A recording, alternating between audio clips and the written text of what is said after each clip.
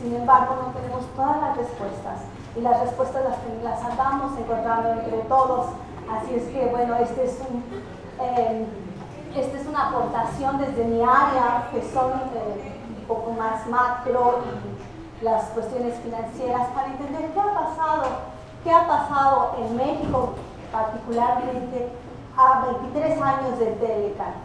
Eh, quiero comenzar diciéndoles que el Tratado de Libre Comercio fue una iniciativa de México eh, México propone integrar esta área comercial. No obstante, quien orquesta todo el, el programa y la agenda para la integración es obviamente Estados Unidos. Hay que recordar también que esta integración es uh, muy asimétrica, es decir, no es una integración como tal, es uh, una forma de intercambio comercial entre tres economías, una de ellas muy distinta en cuestiones culturales, en cuestiones económicas, en cuestiones de producción, eh, que dificultan aún más el llamarse integración. Entonces esto no hay que perderlo de vista. México es la parte más débil, la parte menos desarrollada en todos los sentidos en, esta, en, este grupo, en este equipo de, de, países y por lo tanto no le podemos llamar integración. También tenemos que recordar otra cuestión. Eh, en 1994, eh, aunque la liberalización económica en México se da desde una década atrás, hay una concretización de esta liberalización y más que comercial, se tiene en mente también una liberalización de los flujos de capitales y de los flujos de inversión a nivel global.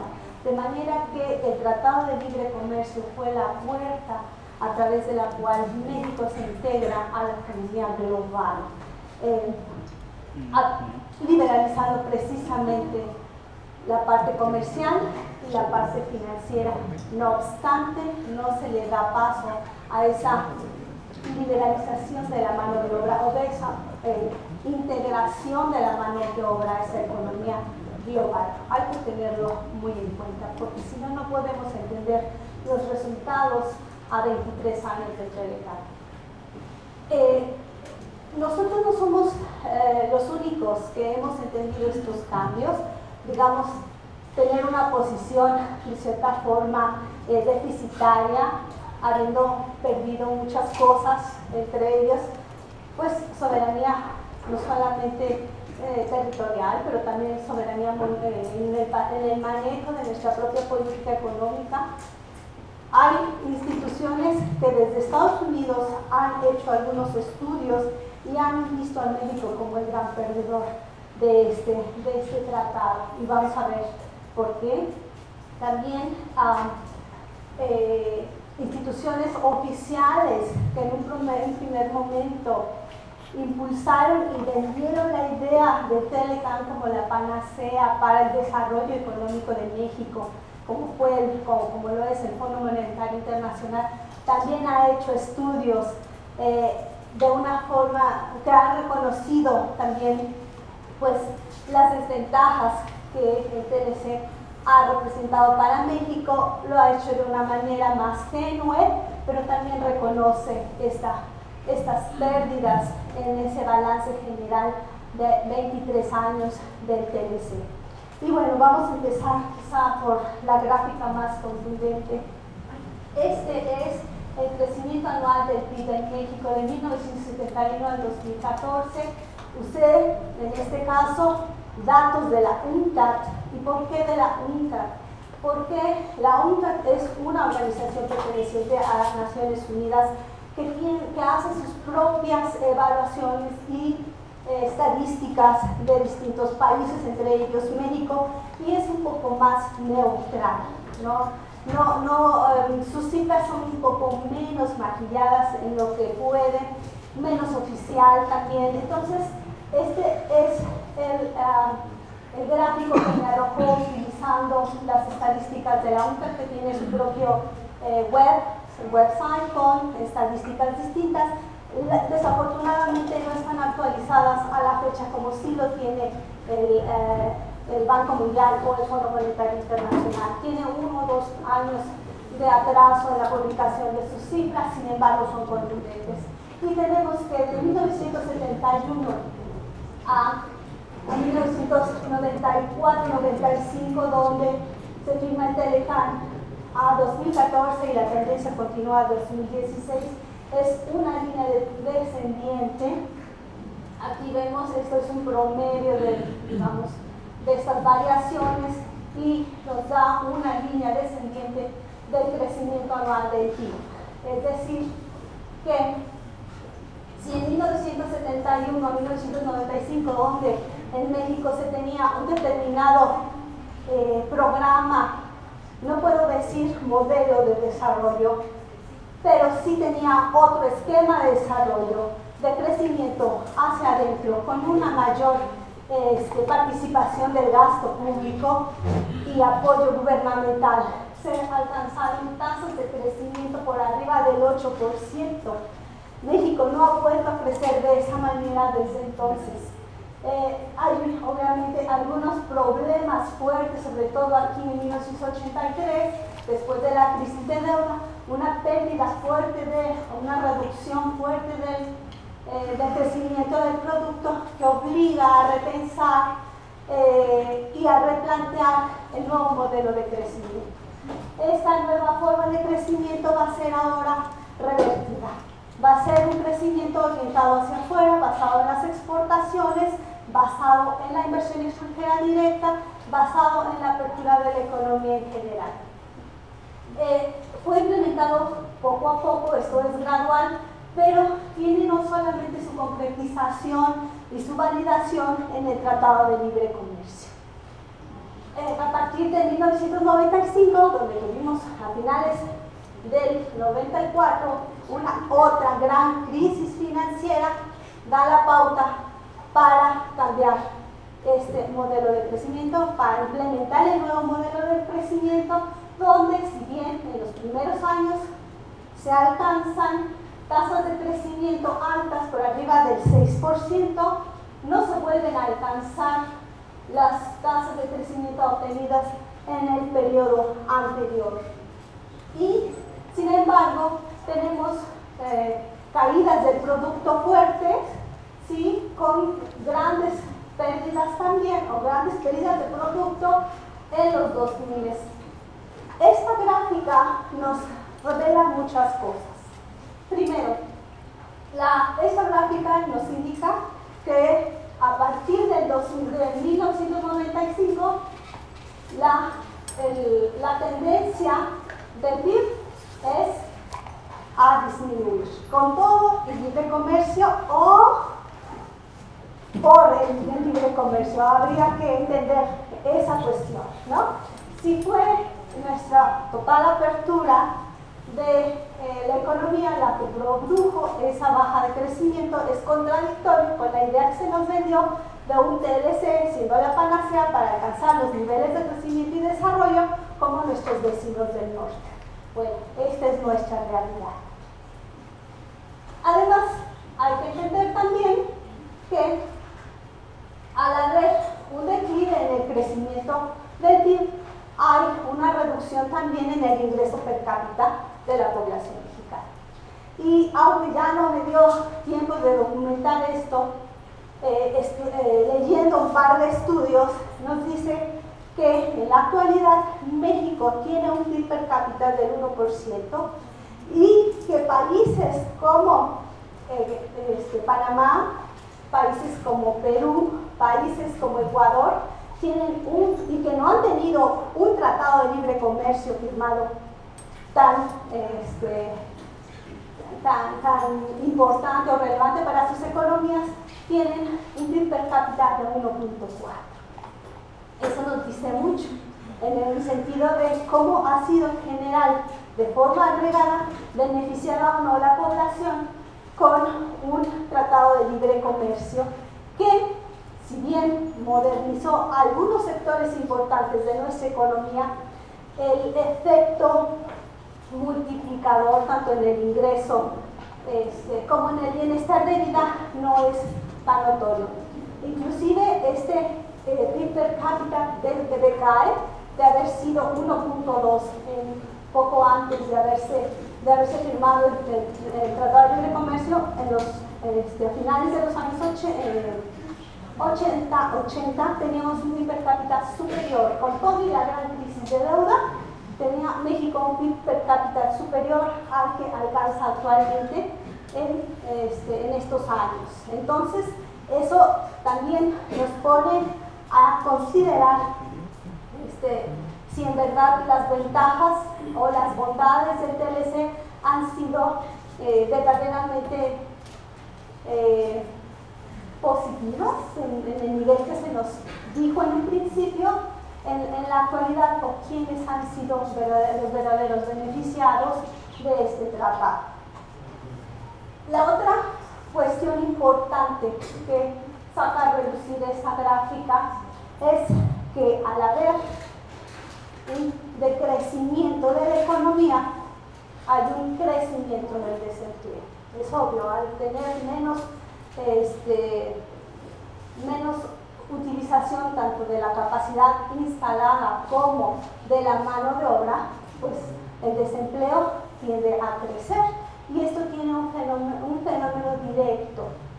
Y el fenómeno directo es precisamente los flujos de mexicanos inmigrantes con destino a Estados Unidos. Este es, digamos, desde la parte más social. Eh, tenemos que ver que de 1995 a 2010, que llega nuestra, nuestra gráfica en, esta, en este censo, el flujo de mexicanos o el flujo de ciudadanos nacidos en México que emigran a Estados Unidos crece y crece al grado que en 2002 casi alcanzamos bueno, poco menos de un millón de expulsados. ¿Cómo es posible que teniendo un grandioso tratado de libre comercio tengamos a la vez tanta exportación de mano de obra ilegal a Estados Unidos? ¿Qué está sucediendo con el mercado interno y con el éxito en este momento cantado en estos años de tratado. Apareciera una contradicción. Entonces hay que entender que efectivamente con eh, el tratado hay ciertas áreas específicas o ciertos sectores específicos que se vieron muy beneficiados. En parte fue el automotriz, fue este, de manufacturas, algunas, algunas de telecomunicaciones, tecnologías, pero eh, el sector más castigado, el sector más atrasado y más relegado, sin duda, fue el campesino, el, sector agrario, digamos. Y esto nos lo demuestra la siguiente gráfica, que en los últimos años un poco también, este, no, no nada más el sector eh, agrario se ha afectado, pero también el sector eh, o la población urbana. Aquí vamos que dentro de, esta población migrante, estamos diciendo, decae el producto, se incrementa la, migración ilegal. Entonces, en un principio, de 1995 al 2010, nuestra misma gráfica, la, no urbana era la, eh, la población que más migraba. No obstante, las circunstancias también se deterioran en, las ciudades. El desempleo también crece en estas ciudades. El nivel de vida se deteriora por, ahorita vamos a ver un poco por qué. Y hay un punto donde la no urbana, digo, la población urbana hacia 2008, 2009 crece más en, migración urbana supera a la migración no urbana. No obstante, regresando un poco a nuestra gráfica, ¿qué nos dice esta, esta gráfica? O sea, ¿qué, ¿qué está pasando en el campo que está obligando a la población a migrar? Bueno, pues el descuido, ¿no? La falta de políticas públicas que tomen en cuenta eh, esta, esta, este sector estratégico y como no hay forma de mantener eh, sus propias tierras no nada más ah, para ser comercializables, o sea, para comercializar sus productos, sino que hay un abandono total del campo, hay una exclusión de fuerza de trabajo hacia Estados Unidos. Este, ¿Qué tenemos en esta gráfica? Bueno, eh, mucho se habla que la migración ha sido favorable, ha sido un fenómeno favorable para México. Si lo vemos desde este punto de vista, sí ha sido favorable. ¿Por qué? Porque la contribución, la gran contribución de estos migrantes en, Estados Unidos ha sido las remesas que envían para sus familias. Y que en un momento dado, sobre todo en el 2000, este, 2009-2010 llegaron a, ser superiores a las ventas petroleras. Realmente los flujos externos que no tenían una contrapartida como las exportaciones, es decir, los flujos de millones de, dólares en remesas llegaron a sostener el tipo de cambio y nuestra balanza, nuestra balanza de pagos. Entonces sí hay una contribución positiva para la economía, no nada más en los recursos enviados que se gastan como salarios, sino en este grandioso volumen de 26.700 26.770 millones de dólares eh, que están en este momento en riesgo, han reducido las, las, tanto la migración se ha reducido como el envío de remesas y la migración se ha reducido no porque hayan mejorado las condiciones internas del país, sino que el peligro creciente de cruzar la frontera y este, la propia dinámica de la economía estadounidense que ah, no logra salir de su crisis, bueno, demanda menos, menos fuerza de trabajo migrante. Entonces, al evaluar el migrante si se va y se muere de hambre allá o se queda y como sea con el apoyo familiar acá, pues sí ha habido una reducción de la migración y con esto también ha habido una reducción de las, de las remesas. Cabe mencionar que México depende totalmente de los movimientos en la economía estadounidense. Es decir, si la economía estadounidense crece, pues crece la demanda de productos mexicanos. Pero a la par, si decrece por, esa recesión que ha tenido, sobre todo 2008-2009, la economía mexicana se ve grandemente afectada. No nada más en el crecimiento del volumen de sus exportaciones, pero también en el volumen posterior de las remesas que que los migrantes mexicanos están llegando.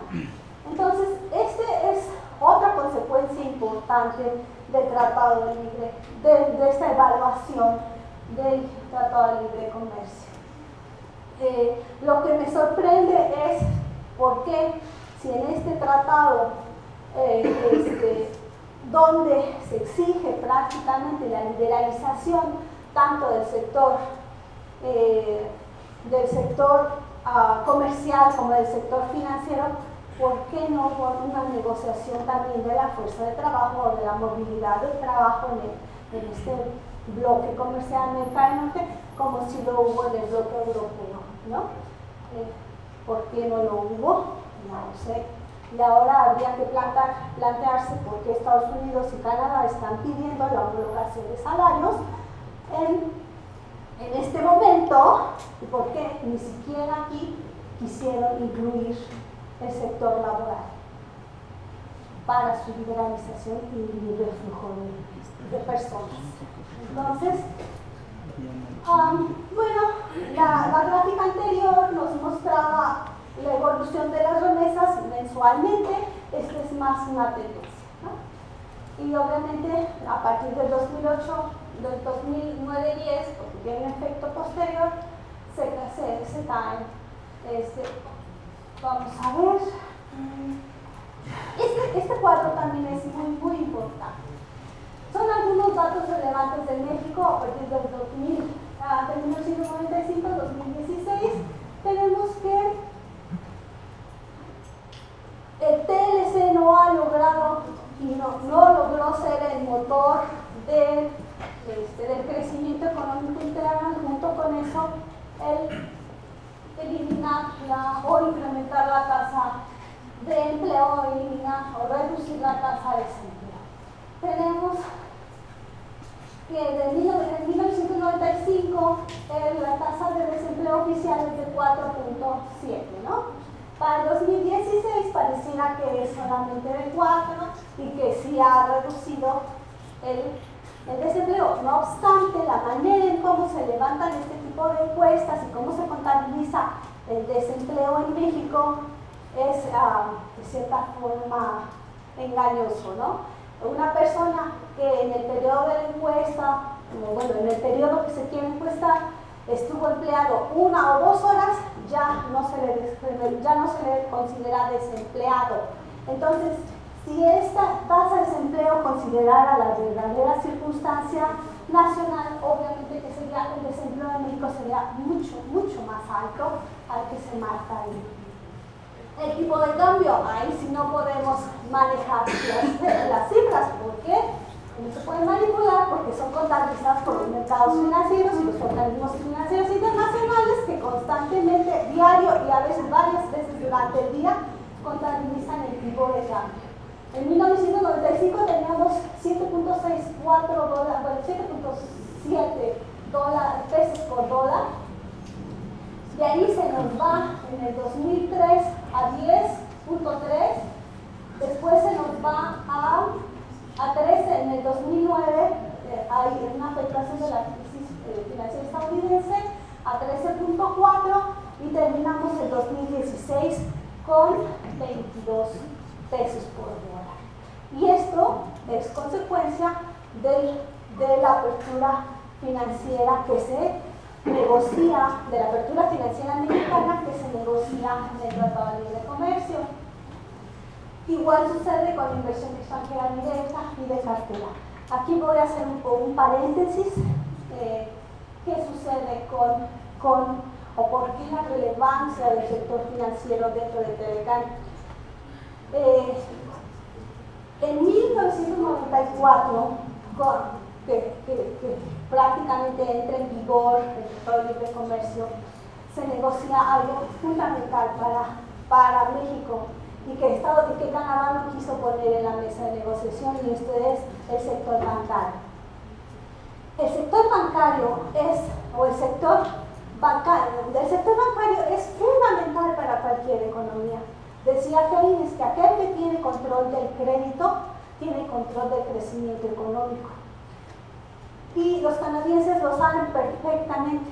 Ellos perdieron en el TLC, perdieron su sector eh, petrolero, o sea, en ese sentido, lo pusieron en la mesa de, en la mesa de negociación. México, no porque no quisiera, sino que políticamente era inviable.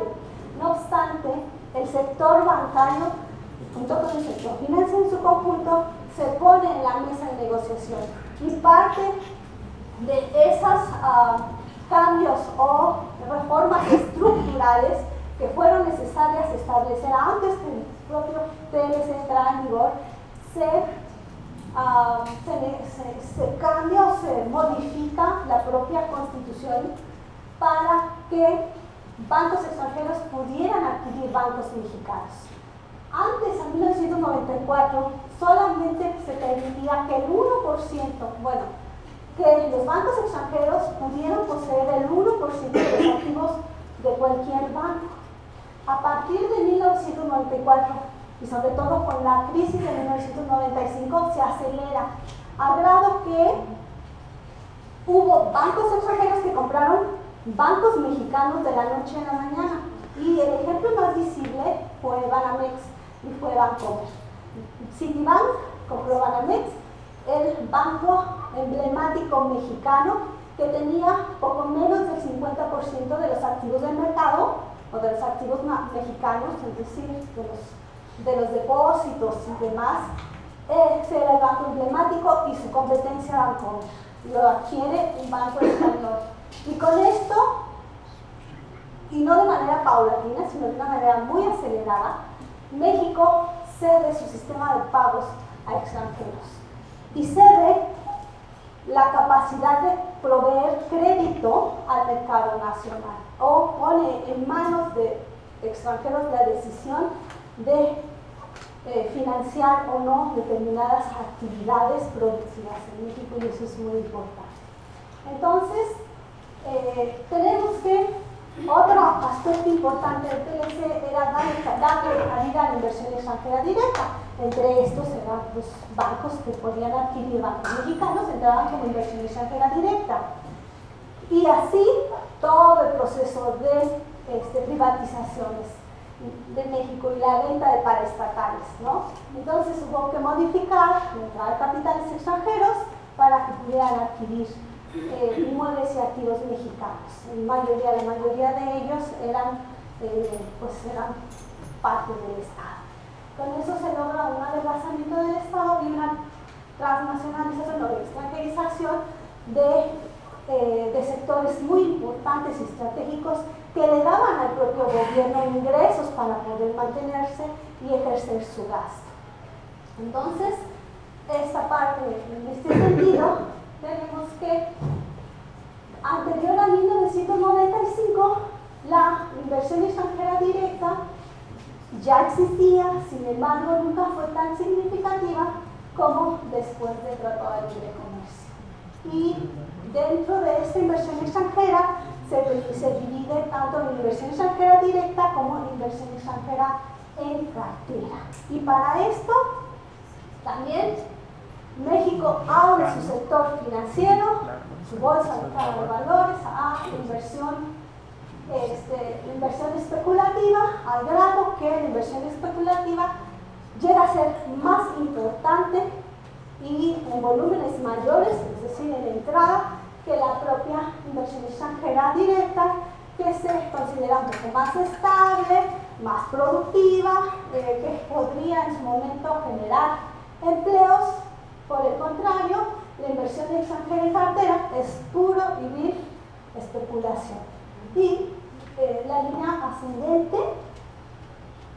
esta línea, que a partir de, del 2007 se incrementa por arriba de la inversión extranjera directa, son todos los flujos de capitales que después de la crisis de 2007 ven a México como una buena posibilidad de rentabilidad y se vienen a, a México. ¿Y eso qué tiene que ver con el Ah, pues cada entrada de capital hay una apreciación del tipo de cambio y cada salida de capitales hay una devaluación terrible, donde todos los mexicanos cedemos parte del poder de compra de nuestros salarios. Los que tenemos trabajo, los que no, están bastante. Entonces, y aunque no ha sido muy difundido eh, como lo es, por decir, los problemas en el propio campo a raíz del TLC. Poco se ha dicho y poco se ha entendido de los efectos devastadores que ha tenido el TLC ante no nada más la apertura comercial, que ya lo veremos con, con la doctora Elisa, pero el haber abierto eh, tan radicalmente eh, nuestro sector financiero ha afectado de muchas formas. Primero, lo vemos que eh, entrada y salida irrestricta de capitales afecta la, evolución del tipo de cambio. Y esto está muy vinculado, por cierto, con la producción, con la exportación. ¿Por qué? Porque cada vez que hay una devaluación del tipo de cambio, se hacen menos competitivas nuestras. Eh, cada vez que hay una apreciación, perdón, del tipo de cambio, son menos competitivas nuestras exportaciones, es decir, son más caras para el extranjero y por el contrario, cada vez que hay una devaluación del tipo de cambio, pudiéramos ser aparentemente ser más competitivos, pero se está estrangulando el sector interno. Y cada vez que hay una, una devaluación del, del tipo de cambio, se presentan también crisis financieras con destrucción masiva de empleos y de riqueza. Entonces, la apertura financiera implica también una destrucción de recursos eh, o de riqueza económica, eh, estrechando o reduciendo cada vez más eh, las posibilidades de crecimiento y de desarrollo del mercado interno, en aras de favorecer el mercado externo.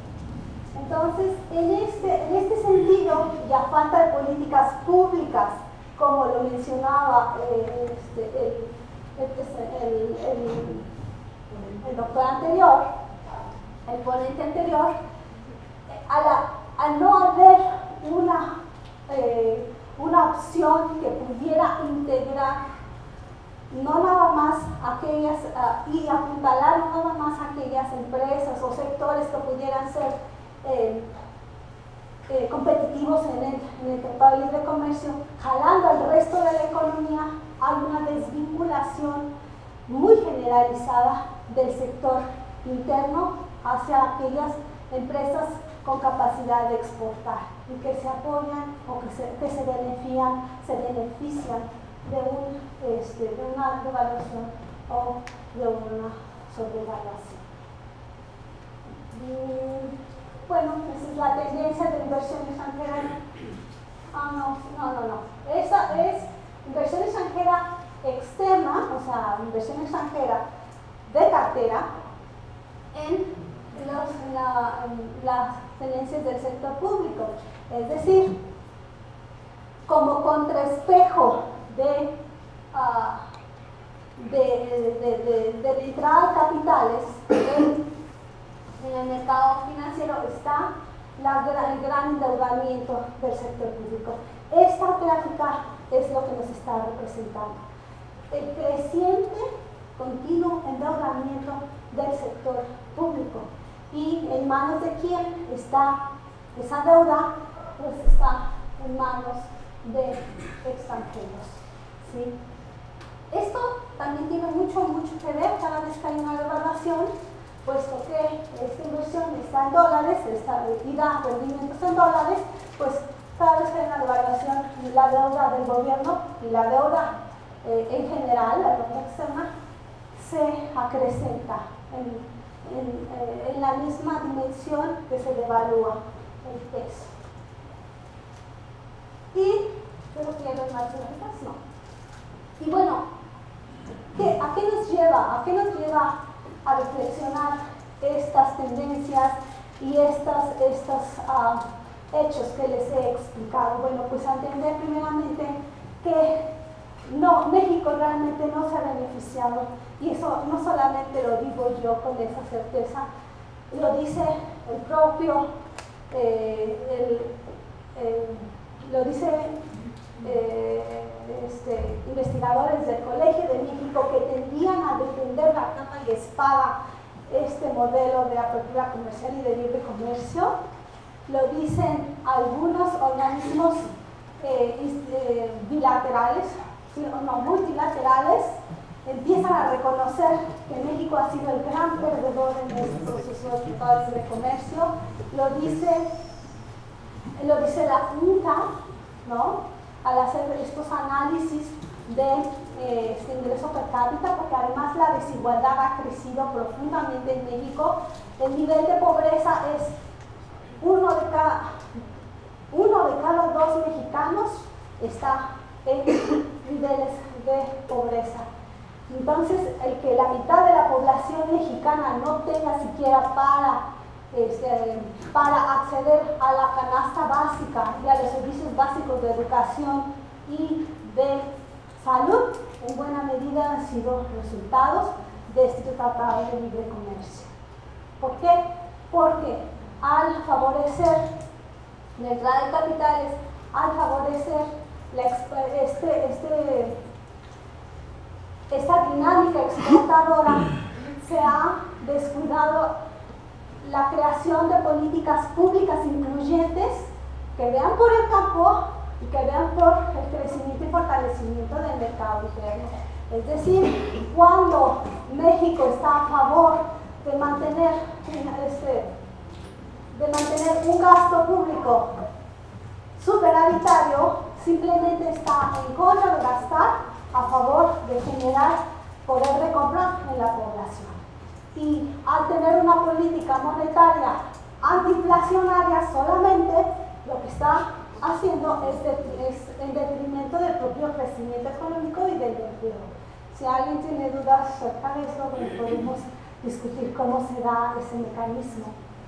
Este, pero nos queda claro que al, el propio Estado mexicano ha descuidado bastante favor de mantener una de tener una estabilidad macroeconómica a favor de la entrada de capitales y mantener una inflación baja, ha descuidado la inversión y ha descuidado la promoción de, empleos, que llevaron a un poder de compra más generalizado para disminuir esa gran brecha de desigualdad que sí, que sí ha generado este tratado. Eh, tenemos entonces ahora en la mesa de negociación que si se renegocia o no el Tratado de Libre Comercio, pues hay que considerar esto. Y aquellos que decían que el tratado era la panacea, ahora están diciendo es mejor salirse, ¿no? O sea, no puedes vivir con él ni sin él.